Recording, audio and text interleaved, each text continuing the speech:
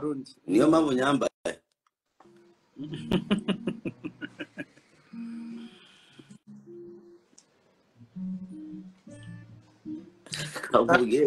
Ibintu biri ku mihanda. Mm. umuhungu we gasuku bamumereye nabi. Genda ate noneho Eh, simbizi neza.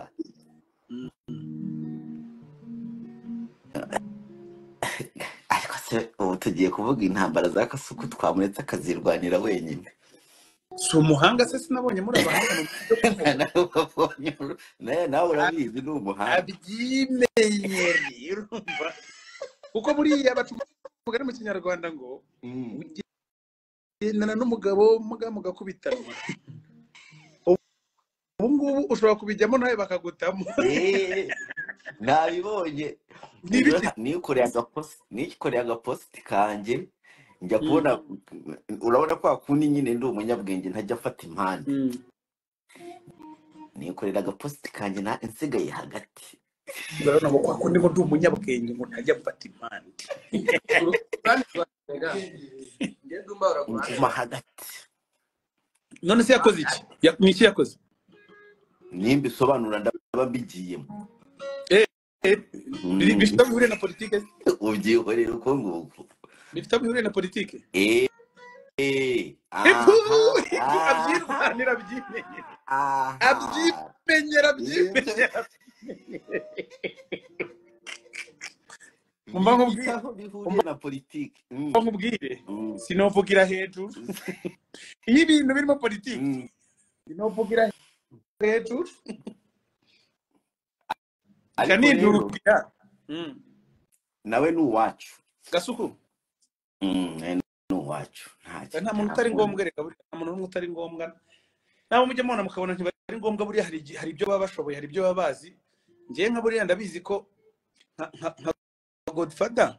Mm, ndabizi ko nyine ibintu akora atari byiza ariko ntibikunda ko ari umuhanga muri byo rero rero godfather sinzi niba ari n'umuhanga. Mm. ntabwo ndaha ntabwo ndaha umwanya ibintu bye ngo mbitindeho. Hari ubuhanga? Mm. nta nubwo ari ubuhanga. Ni tara ni ukugira impano ukaba uzi gutondekeranya nyine amagambo. N'igihe umuntu antuka kubera igitutsi antutse nkahita numva ni umuhanga. Ukujya wumva ko ari umuhanga. Iyi yarantutse Mm. yarantutse mpita mbyenda uyu mureza arashona kabisa azi gutukana ngo kinyusi n'iriya nda yagwiriye igitsina.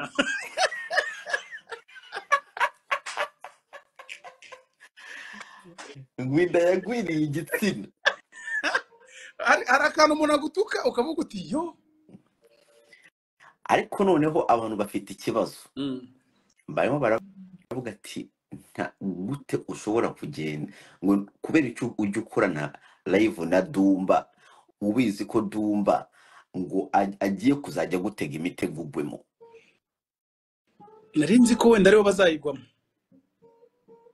Oya ntuzayigwamo ngo buriya cya gihe dukorana live hari akantu naguteze. Mm. ubundi mu kinyarwanda bakita akamashu akamashu Mm. urakazi. Ba-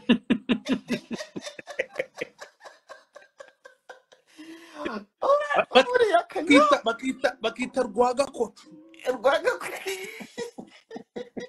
uburiya akanyobwa ngo ariko ngewe buriya ntago ntago imitego yawe nyigwamo.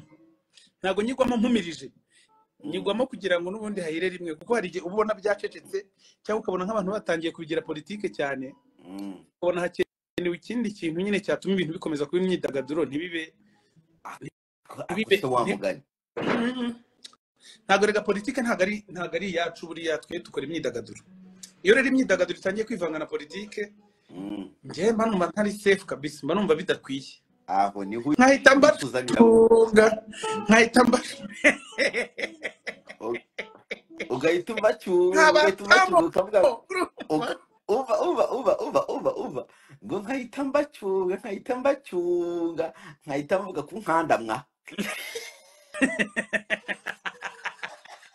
urumva uko bigenda kose njyewe ibyanjye buriya byose ntaho biba bihuye na- n'ibintu bi- ibintu- naguma numva ngiye bitari imyidagaduro.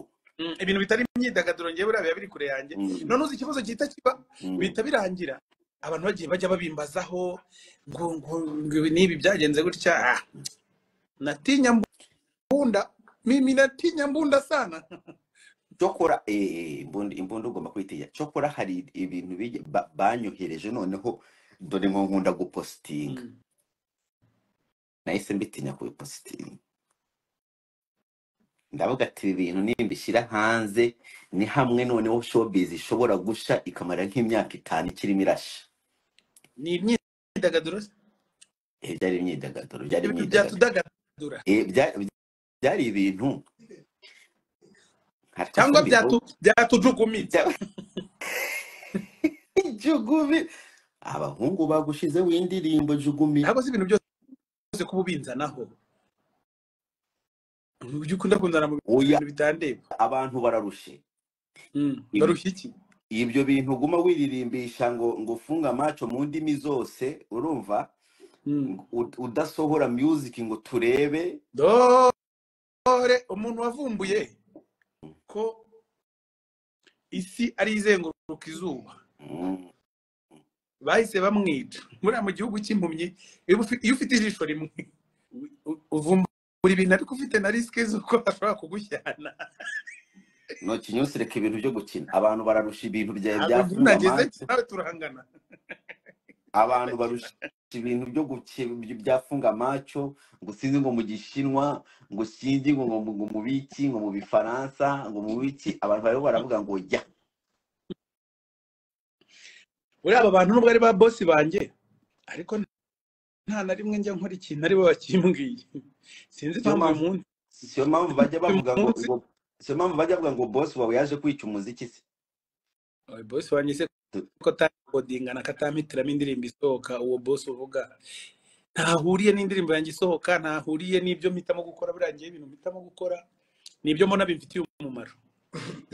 Uwo manajya uwo manajya atakuhitiramo nose manajya yaje kunguka mu muzikira ubundi se ahubwo se kamubaze mu dumba ariko se ariko kizi Ki- ki- kizi ara- yagiye. Utazanyita kidi wowe? ki ki ntabwo ntabwo kuri muri Kenya na Bruce Melody ntabwo bakwibye muri ntabwo bakwibye. Turebane umbaze icyo kibazo turebane ki? Ahise yirya. Umuntu w'umugabo baramwica. Oya nashaka kukibaza kubera iki kintu iki kintu gishobora kuvuga ubugori ki? Mm. boss wawe Nobuja wamubwiye ko ugiye muri Kenya? Oya se mva nkubaze ikibazo kimwe. None se ubu ntari kubireba. Rero Nobuja niba ariho rero Nobuja niba ariho kubera ko dumba agira amatiku Mm. afata ba bosi be bariya bakorana mu byo gutema ibiti agafata Mm. nyine uko bakorana akazi instruction z'akazi ke akabizana by'afurika mu miziki no muri showbiz. Ntabwo ariko muziki bikora. Ko mujugumiye ntabwo ariko bikora. Ko murimo murajugumira umva ki? Kandi Mm. boss wawe arabizi ko wajyanye na Bruce Melody. Arabizi kabisa. Oya. Hano tuba twaje gukorera amafaranga. Yisubirire kwicara mwanirize cyane. Waretse nkabashyira nk'umure waretse breaking news breaking news. Na breaking news. Nyine mubwire. Eh. Uriya uyu kizi eh. ni njye wamuvumbuye. Noneho bosi we ahita abibona. Ahita amurobamo ariko ibyo ntibyagombaga gukuraho ko eh, ngomba gukomeza gukorana nawe. Munyumvire cyane cyane ko Eh, cyane cyane ko ibintu twakoranye hari byo byatumye uwo bosi bamumenya muranyumvi none se ndabeshya. Ariko uzi ko ibyo nk'ibyo mbivuze bintu mwitwa uvuze kugira ngo batagira ngo wenda ni ibintu byo kurabura. Uzi ko nk'ibyo bintu uzi ko nk'ibyo bintu uvuze. Biba birimo biratakinga nobuja dira- direct.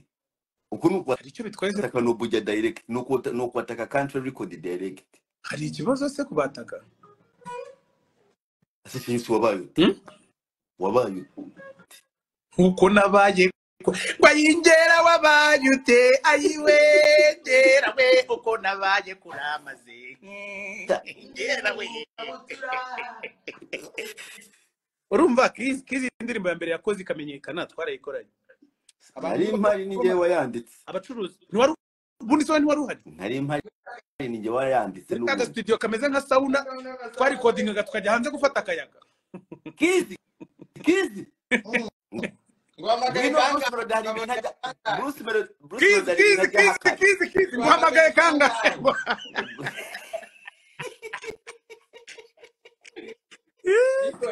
Bruce melody hari ibintu ajya bruce melody ajya abwira abantu ngo ntabwo ari njyewe wanditse indirimbo funga maco babwira wanditse akantu kamwe bita ngo sentemeka kandi nabwo ni uko uri umugandi. Naho ubundi yo nabwo tuba tuzi ikigande twari kukiya igiswahili kirimo ninde waki- wagishyizemo ninde wamu- wamubwiye igiswahili kirimo? Si waje irimo korasi hapana funga macho ala- anu- unauza ngapi? unauza ngapi nije wayikubwiye natwe turakaguhaye wishimye okay nta muntu ujya utwara credit ya dumba mubimenye mubimenyere. Niyo yaca agati kukinyuza mu menyo mugomba kuyibona mukavuga muti aka gati ni unauza ngapi?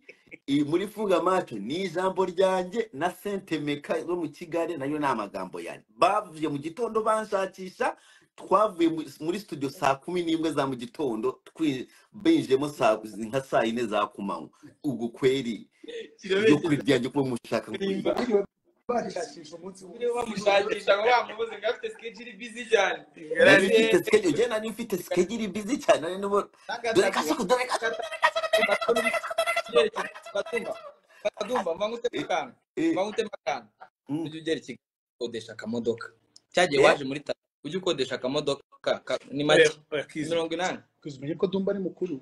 Ariko ndi kumwiyenzaho nanjye yanyenze Kizi, umva kizi uzajya ukirana kizi uzajya ukirana na ba elementi bo mu ngana wa kintu.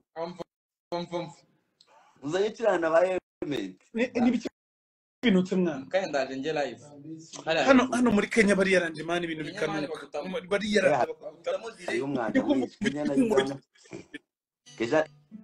Kenya na uganda haba hari umwanda wa danje oya ntabwo ariko tuvuze. Abantu bari batatu. N'ub- n'ubwo nu- nuko ari huri ariko ubundi niko kuri. Oya niyo naba ndi. nko nk'ubu se sinavuga ko mu rwanda hari isuku nyinshi. Nuko ariho uzaza. Ubizi gute? By the way next time ushobora kuza muri afurika nkaza muri kenya kubera ni ho mfite abafana benshi. N'abakobwa benshi nshaka kuzarongora. Shadumba ntabwo rero ibyo boro bya buriya abafana babikunda banjye. Ariko se kubera icyo wumva ko ugomba kunzana live yawe ukamfata ku munwa? Ntabwo ari ukugukandagira ku munwa? Ubwo ni ukunkandamiza. Ese dumba uzi kuririmba? Eh, eh. turirimbire twumve. Dumba yarambwiye ngo umukorere indirimbo. Urabizi? Eh, ngo umukorere akaririmbo amana Umva. Mm, ngiye kuririmba. Mhm. Wa- wari ura- wari uragiye kuvuga ngo ibyo- ibintu ibintu byanjye ngo ibintu byanjye abafana bawe ntabwo bakora iki? Ni ibintu ugiye kuririmba birabe bisengeye ko tumaze kuririmba n'indirimbo z'imana ururimi rwawe ruzahera mu nkanka cyangwa rukagobwa. Gerageza uririmbe ibintu uh, nyine byajyana n'amarangamutima Mm. dusanzemo. Ngiye kuririmba ibintu gusa kabisa. Mm. byubahe bi- bite uririmba indirimbo za nesa hano japani zanesa Mm. sambuya ndaba nayicometse foni ngo ntiza nanjye numveho.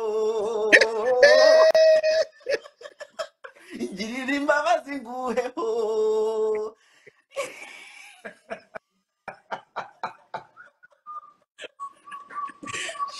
Izo izo izo ni iz'isanamitima zo ntacyo zitwaye? Izo ni iz'isanamitima zo ntacyo zitwaye. Ngo ntiza nanjye numveho ngo ngirira imbabazi nguheho kuko nanjye singitereta Mm.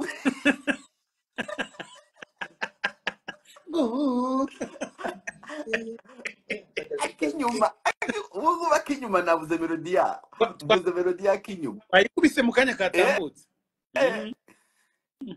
ngo ngo uh, uh, papa wanjye yaguze ka papa kaya bwa ngo papa wanjye yavuze ya, papa wanjye yaguze igare kujugumira Ra- mbi- ndibona bura ndibona bura nuza melody ariko izo nizo ndirimbo abafana bawe basi ndibaza ko ibyo bintu abafana bawe ntabwo babikunda turirimbire turirimbire aba bantu na dumba wabo akinyuma bumva ukuntu ari akaririmbo keza n'ibintu k'inyuma kubita k'inyuma bumvamo bumve ko atari Mm, urumva buriya hari ukuntu wumva titire y'indirimbo mm. ukagira ngo ni mbi.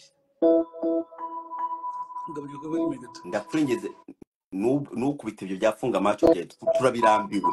Wiyataya do mfunga macho ntago nda kandi hagiye gusohoka iyindi. Turaza gusohora iyindi. Ndabatamo nka yago ibyo ukunda bigaragara ariko imyaka iranjanye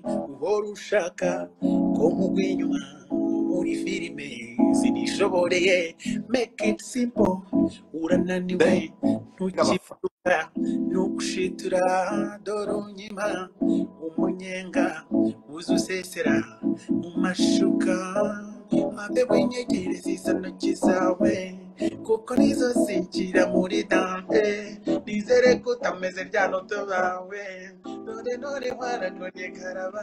Nubwo nsinziriye ndakumva nubwo nsinziriye ndakumva iyo nsinziriye mba nkumva iyo nsinziriye mba nkumva Eh, eh, ejo amagambo ya dumba yose. Reka nkubeshye ceceka ikibazo cyawe dumba ye eh, ejo nugwamo eh. kizi kubita kizi kubita ndagukubita ikinyafu shyiramo nzagukubita ikinyafu urakorakoza biranga. Ananga filingi gusa nanga gatuna mwene. Wabona nawe bagutama inyuma Nakwere. inyuma bagamaze Isigo. gusa mfite ubwoba bwo gusubira mu cyaro. Nubwo mpora mu marira. Ndababaye ntunashona kwaje nta nuko wangenza have winyegereza izo ntoki zawe. Kuko nizo zinjira uri danje nizere ko utameze nk'inshuti zawe. Ndashaka ikinyafu. None warakomye ubwo nsinziriye ndakumva. Nubwo nsinziriye ndakumva. Niyo nsinziriye mba nkumva. Niyo nsinziriye mba nkumva. Yehe eh, eh, eh, ejo numa Nza- nzagutamenya kurya k'inyuma. Ubundi naniwe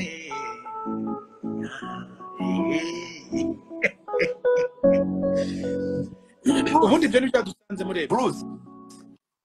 Bakuyemo indirimbo zawe z'igishego usigarana izihe ndirimbo bande bazikuramo ubundi ari bahawe uburenganzira reka twimagine ko tuzindutse mu gitondo dusanze indirimbo zawe z'igishego z'igishego wari uvuze ngo katugire gute? Katwimajine ko reka reka twimagine tureke kwimajina bruce nyamara ufite ibishegu gusa oya bruce bruce abantu barambwiye ngo umuntu yaje arambwira ngo dumba ngo ibi bintu uzabibaze mugenzi wawe. Mm. ngo bakuyemo indirimbo nk'ubu ngubu mfashe indirimbo za The Ben nkafata I'm in love amahiti yose ya The Ben nkafata Habibi nkafata eh, ni forever nkafata Nuza zose indirimbo za The Ben. Nkazifata nkazishyira hariya nkazana n'izawe n'amahiti narangiza nkavuga ati tugiye gufata indirimbo tugiye guperforminga imbere y'aba- y'aba- y'abayobozi uzi ko twa- twabura indirimbo yawe urumva kare twa- twaza tuvuga ku bantu bakuru Mm. ukuntu abantu baje gukura warangiza noneho warangiza ugatangira kunyibwirisha ngo dumba ngo abafana banjye ngo ntabwo bakunda ibigambo byawe ceceka wumve nyine ukuntu bigenda icara Mm. urumva twahoze dusanga n'amabanda asaza. Abantu bakuru nyine babamo abantu batatwikaga kera kuko buri generasiyo igira bubu urumva? Mhm. ibaze ko nk'ubu ngubu witwa uwubu warahoze uri n'uwa kera. Njyewe noneho mba mbona ubayeho nk'ubuzima burenze bumwe. Kuko kera n'ubundi ahantu wigaga na- namenye amakuru yaho ngo byari ibintu bicika cyane.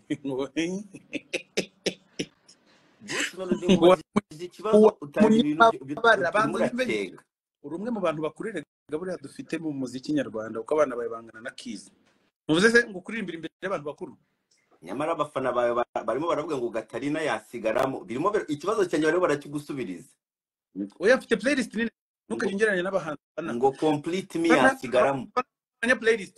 Uzi playlist mfite ukuntu iba ingana Mm. njyewe mfite ubushobozi bwo gupafominga byibura nk'amasaha atanu. Non stop ndirimba indirimbo ndimo gusa. Nyine indirimbo zanjye n'indirimbo nafatanyije n'abandi bahanzi. Ubwo rero playlist yanjye ntukayikinishe kuko iri ku rundi rwego.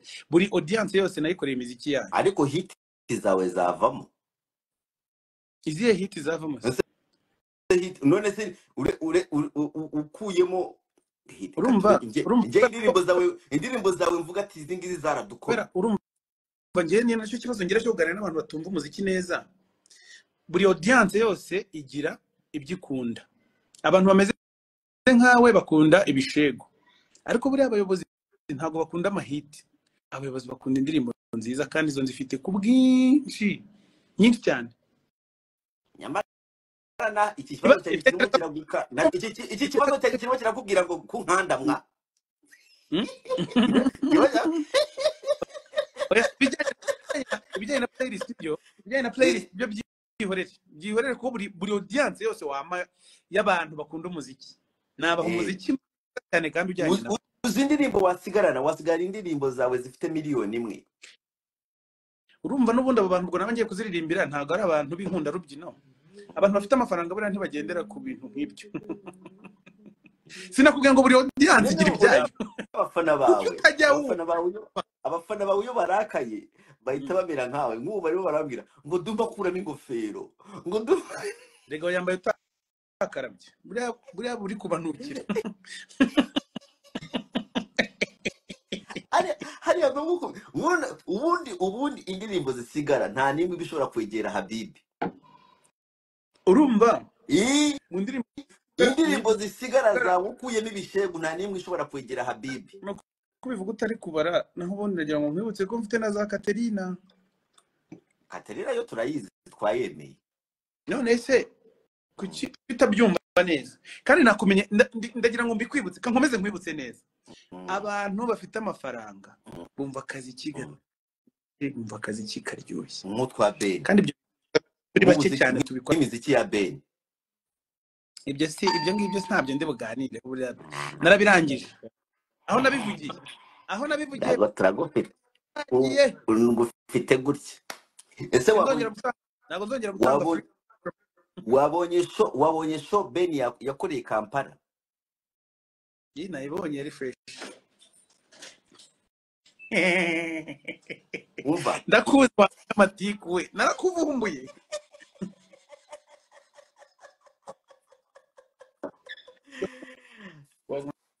Basi mvugira uko mvugira uko mvugira aka ka- mv- ah, ah, mvugira aka kagambo vuga vuga ngo i love you beni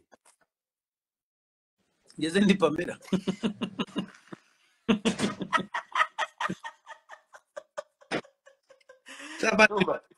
Abantu barikundaniye Eh, oya ku nyine you love you love beni nka nka mukuru wawe. You can love beni nka brother wawe nka kuki utavuga abandi? Ubwo se birakunaniye birakunaniye kuvuga ngo i love you nawe. Kandi rero kandi rero beni yaragufasha araguhobera kubera gukunda. Yo guhobera umujene bamutami yatami. Abyutse mbona afite amatama nyoberwa ibyabaye kumba arajunditse. oya ni ukuri ukuri kw'Imana beni ntabwo ajya gukora headlines. Na- umva Mm. nkubwire. Hari ibintu ntazongera gukora. Uko wagerageza kose sinzongera gukora headlines mu rwanda zivuga ibintu bita bita ubwo baraguka ubwo baragukanze nawe bameze nk'akasuku kasuku. Ni ubwa mbere nari babona akasuku ati nta muntu wankanze. Reka nta muntu umbwira ibyo gukora dumba mwese mwansanze Ah, ubwo bagiye bakubwira ngo hehe ngo hehe uzajya uza ubatamo nkubwire. Mm. platform zanjye ntago zishinzwe gupromotinga abahanzi mukunda urumva? Ikintu muzajya mukora ni uko muzajya mujya kuri platform zabo nabo tukareba ko imibare izamuka bakavuga ibyo bashaka nk'uko nza hano nyine nkidagadura nkaganira n'abantu banjye naho ubundi buri muhanzi wese afite uburenganzira bwo gukora ibintu ashaka ukuntu abishaka nk'uko ndi gukora ibintu nshaka. Oya ariko umva reka nkubwire akantu.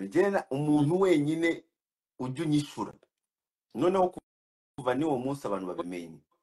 Utuzi utuzi wa mugani twa hehe.